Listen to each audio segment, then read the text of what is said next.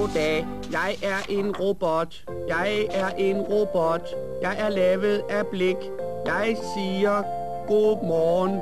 Godmorgen. Max var ved at læse en bog om robotter. Godmorgen. Det fik ham til at ønske, at han selv var Goddag, en. goddag, goddag. Hvordan har du det? Godmorgen. Hyhyhyhy.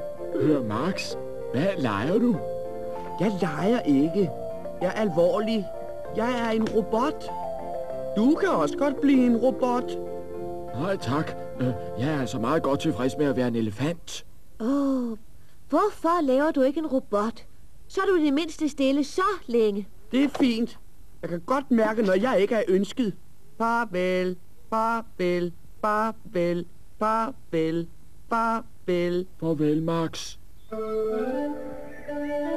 Højre, venstre, højre, venstre. Et, to. Da han var nået så Et, langt som til Billy Bjørns værksted, syntes han, at det var ret anstrengende at gå som robot. Måske havde Nina ret. Jeg skulle måske lave en robot i stedet for at være en. Goddag, Max. Og da han fortalte Billy, at han gerne ville lave en robot, sagde Billy, at han ville hjælpe ham. Billy havde masser af ting og sager på sit værksted. Og snart havde de lavet en robot. Ja, det eneste, den mangler nu, det er et batteri. Vær så god. Et stykke robot. Ej, den virker. Øj, det er vidunderligt. Hvad skal den hedde? Øh, blikspand. Det er et godt navn. Tak, Billy. Kom så, blikspand. På vej gennem byen præsenterede Max sin nye ven. Kaptajn Valde, hils på blikspand. Blikspand, Valde Valros. Kaptajn Valde Valros. Nu har jeg aldrig en fornøjelse at træffe dig. Ah, fornøjelse. I restauranten sprang Kitte rundt og prøvede at gøre forårsrent. Lave mad Gitte!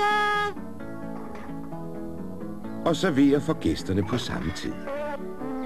Ja, jeg kunne godt bruge et par ekstra hænder. Jamen, det er lige, hvad jeg har med til dig. Et par ekstra hænder. Sæt blikspand her i arbejde. Åh, oh, tusind tak, Max.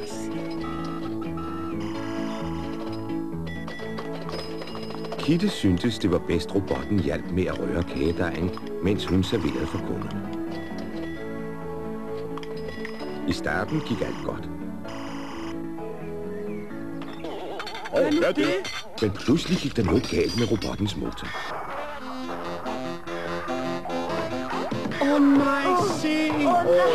Se hele broet.